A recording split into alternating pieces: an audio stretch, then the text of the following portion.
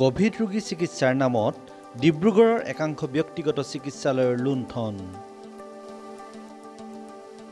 ৰোগীৰ প্ৰতি সামান্য মানৱীয়তাকো উপেক্ষা কৰি ধন ঘটাত ব্যস্ত একাংশ নাৰ্ছিং হোম। কভিড ৰোগী চিকিৎসাৰ বাবদ দুই লাখ টকা পৰ্যন্ত আগধন দাবী একাংশ ব্যক্তিগত নাৰ্ছিং হোমৰ। এই অভিযোগ আমাৰ নহয়।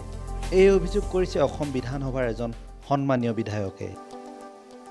ৰাজ্যজুৰি ক'ভিড নাইণ্টিনৰ ভয়াৱহ সংক্ৰমণৰ সময়তে ডিব্ৰুগড়ৰ একাংশ ব্যক্তিগত নাৰ্ছিং হোমে ৰোগীৰ জীৱনক লৈ হেতালি খেলাৰ গুৰুতৰ অভিযোগ উত্থাপন কৰিছে মৰাণ সমষ্টিৰ বিধায়ক চক্ৰধৰ গগৈয়ে।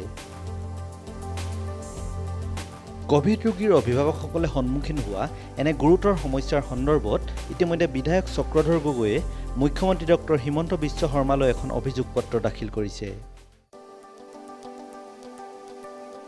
অভিযোগ পত্ৰত বিধায়কজনে কেনেদৰে ডিব্ৰুগড়ৰ একাংশ ব্যক্তিগত নাৰ্ছিং হোমে ক'ভিড ৰোগীৰ জীৱনক লৈ হেতালি খেলাৰ লগতে নিজৰ খেয়াল খুচিমতে ধন সংগ্ৰহত লিপ্ত হৈ পৰিছে সেই সন্দৰ্ভত স্পষ্টভাৱে উল্লেখ কৰিছে।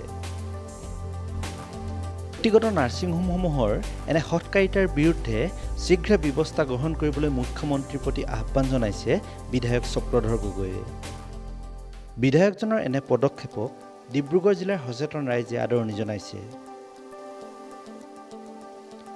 কিন্তু মুখ্যমন্ত্ৰী অথবা স্বাস্থ্যমন্ত্ৰীয়ে এই ব্যক্তিগত নাৰ্ছিং হোমসমূহৰ বিৰুদ্ধে কিবা ব্যৱস্থা গ্ৰহণ কৰে নে নকৰে সেয়া হ'ব লক্ষণীয়।